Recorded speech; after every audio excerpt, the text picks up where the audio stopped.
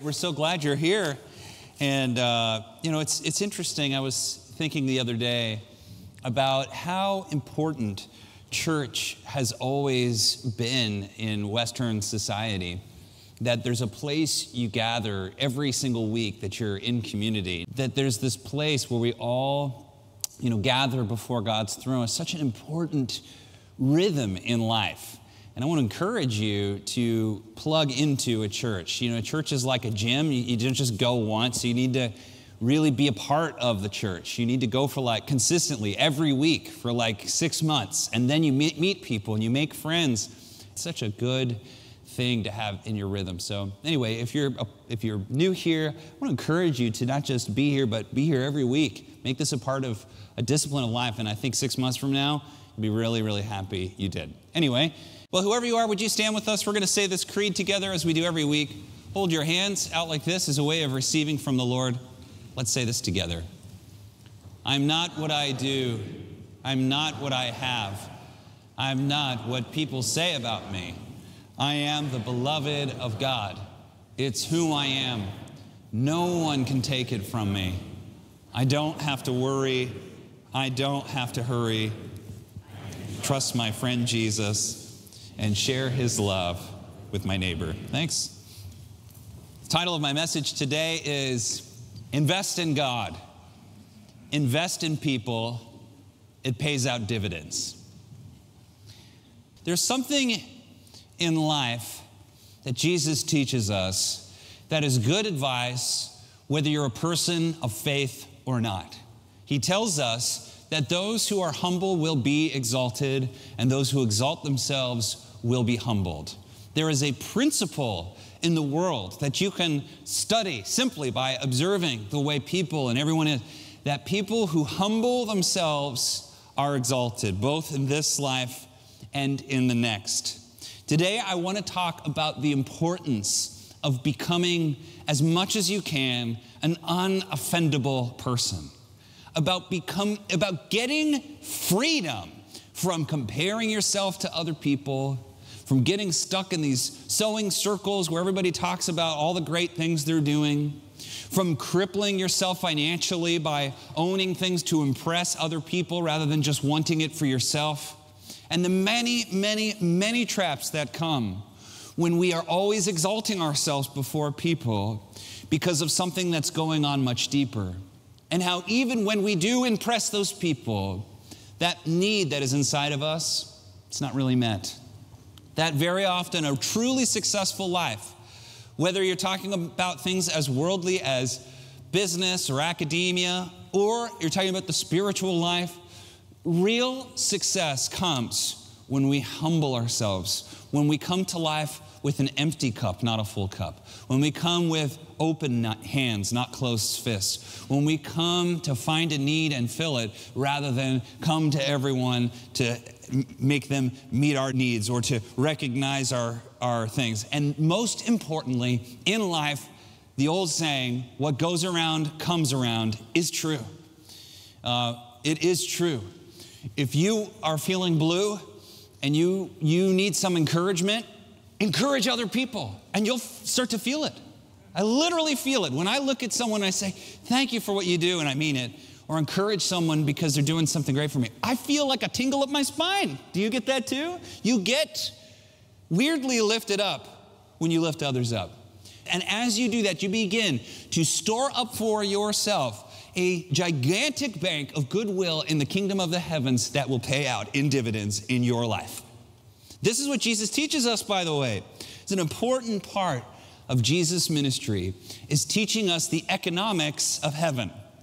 In the world, we have economics, we have dollars and cents and businesses and things, but the kingdom of the heavens has its own economic system, a system in which we can invest, a system from which we can withdraw, a system that many of us have racked up huge debts that we feel like we cannot pay. Anybody feel indebted sometimes spiritually? So Jesus teaches us, he says, store for yourselves treasures that are in the heavens where moth and rust can't destroy and thieves can't, cannot steal.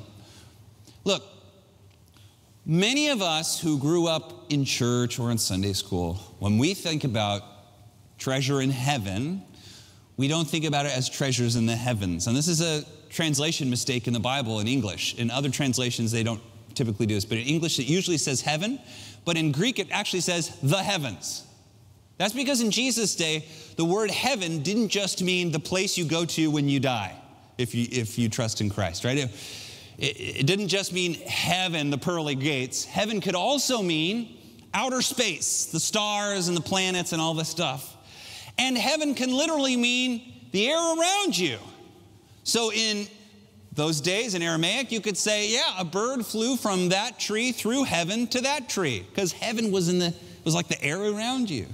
So to store treasure in the heavens didn't necessarily mean just heaven when I die. It meant that it's like treasure in the air. Does that make sense? It's really like spiritual treasure. It's like treasure that's somehow around you. What, what kind of treasure can that be? That doesn't that doesn't make any sense. I'll explain it to you here in a moment. But I want to convince you today it's the best kind of treasure you can have in this world. It's the best treasure. Many of us who grew up in Sunday school, you know, we, we saw treasure in heaven. We pictured Scrooge McDuck jumping from a diving board into a pool full of gold coins. Anybody watch DuckTales? Probably not. So I think treasures in the heavens, what Jesus is teaching us, is Jewish wisdom that there is this intangible thing in the air that we can draw from in life if earlier we invested our treasure there. If you hear anything I say, hear this store up treasure in heaven. It's not gold when you die, it's stuff like favor. God's favor in your life. Opening doors no one can shut shutting doors no one can open. It's favor with your neighbor, favor with your city. It's people saying, she is, he is a trustworthy person. Work with him, don't work with him. Work with her, don't work with her. It is wisdom. Wisdom is a heavenly treasure that's once you have it, no one can steal it from you, no one can take it from you. And by the way, if you share it, it only grows or joy. Joy from the Holy Spirit is a heavenly treasure that no one can take from you. Goodwill from doing what is right, always from doing the next right thing. Goodwill in your business with your boss or your employees or your neighbors or your family. That is a heavenly treasure that no one can take from you. And it pays out, my friends, in dividends. You can lose all the money in the world but if you have that stuff, you've got something better, something much, much better. And by the way, can we just say that in the same way that some people have treasure in heaven, many, many people have racked up, can we call it heavenly debts? Heavenly debts that you've got, you have borrowed from goodwill and you are behind on your promises. When people see you, they know you cannot work with him, you cannot trust him. Heavenly debts are folly, making the same foolish mistake over and over and over, and treating people poorly, and putting people down, and not putting first things first, like your kids and your family and your values. When you put those things to the side and you, you fall into the worldly way of life, the heavenly the, the fruits of heavenly debt are things like boredom are things like having all the money in the world but being completely empty, like having means but no meaning. It's not a life of fullness and richness like one that has stored up treasure in heaven, but rather it's a life of lack, even when you have everything in the world. It's a life in which people think of you with indifference at best and distrust at worst. We all know people who have racked up debts in the kingdom of the heavens, and we all know people have treasure in the kingdom of the heavens. And you want to be like the people that have treasure in heaven. It's a kind of treasure you can withdraw from today. I wish people would just do what I say. I have this is good advice, my friend. If you do this, I promise you, your life will be better. So, in life, it is so important that we stop trying to impress the world with worldly treasure but we try to impress the Lord with heavenly treasure. And then we store up for ourselves the kind of thing that does not rust and destroy. And this is what Jesus teaches us. It begins with the value of a heart that's like an empty cup, one that's ready to learn, to receive, to hear from others. It's not from a heart that is arrogant, prideful, embittered, and easily offendable. It's from a heart that is humble, that is humble, that says, Lord, forgive me of my sins because I've forgiven everybody else of their sins too. That's a prayer in the, that's the Lord's Prayer. Jesus teaches the disciples to be humble because it's the best way to live life. Now, this was less common in his day. Rome was all about glory.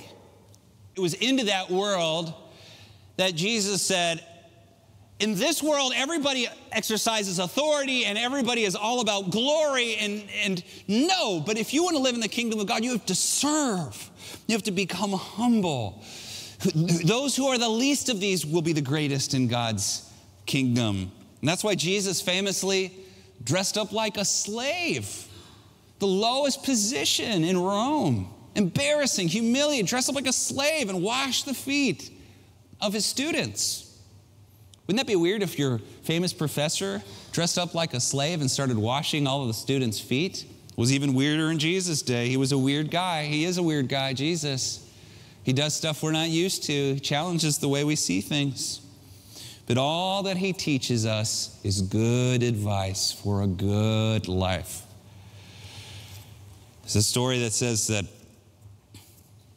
Jesus is sitting at a, at a table of a prominent Pharisee. So, Pharisee is a good thing in those days. It's like a famous pastor. Be like, Jesus is invited, you know, to our version of Billy Graham. And Billy Graham is there, and there's all these famous religious leaders and thinkers and people who own charities and things. And Jesus, and it's probably to honor Jesus himself, this now famous prophet and rabbi. And as he's sitting there quietly watching these men gather around their, the table, they're all sort of gently but efficiently jockeying for positions of honor at the table. Everybody wants to sit a little closer to Billy Graham, you know, and, and, and the closer they are to him, people go, oh, what does he do? Oh, what's he from? Oh, that. We all know this, don't we? And Jesus looks at them and he says in this scripture, Luke 14, when he noticed how the guests picked the places of honor at the table, he told them this parable. When someone invites you to a wedding feast, don't take the position of honor for a person more distinguished than you might be invited. If so, the host who invited both of you will come and say to you, Give this person your seat. Then, humiliated, you'll have to take the least important place. Has this ever happened to you before, something like this? Maybe not. It's happened to me like at least six times in my life, something like this. And it's a terrible experience. But when you're invited, take the lowest place so that when your host comes, he will say to you, Friend, move up to a better place. Then you'll be honored in the presence of all the other guests. For all of those who exalt themselves will be humbled, and those who humble themselves will be exalted. We all do this, don't we?